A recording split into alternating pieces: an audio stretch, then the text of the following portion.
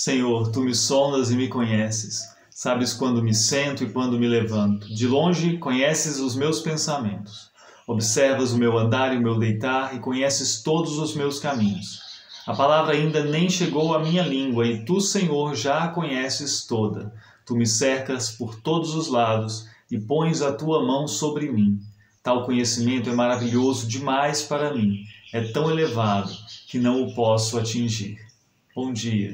São palavras do Salmo 139 que nos ajudam, não somente essas, mas do Salmo em conjunto, a percebermos que há uma assimetria muito importante no nosso relacionamento para com Deus. Enquanto Deus nos conhece plenamente, nós não conhecemos a Deus assim absolutamente. Nós não podemos esconder de Deus nada que somos e fazemos, nem mesmo se o tentássemos fazer, nem mesmo se quiséssemos dele nos ausentarmos, por exemplo, escondendo-nos na mais densa escuridão. Diz aqui que escuridão e dia para Deus são a mesma coisa. Ele nos sonda, ele nos conhece. E conhece a nossa vida do começo ao fim. Não há como escaparmos dessa realidade. E isso poderia ser assustador demais se nós não conhecêssemos algo muito importante de Deus, se não soubéssemos que Ele nos ama em Cristo Jesus.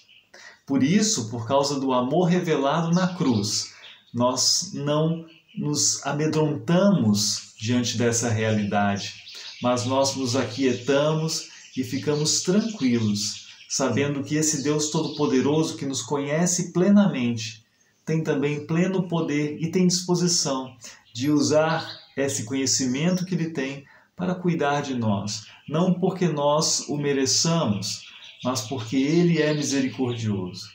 Não porque Ele nos conheceu e viu algo de bom em nós, mas por causa de Cristo. Ele age com sua misericórdia e com seu perdão para nos acolher diariamente. Mas um dia começa, mais um dia que Deus conhece de nossa vida mas um dia em que Ele derrama o seu amor em nossos corações. Estejamos seguros disso. Deus nos conhece de fato.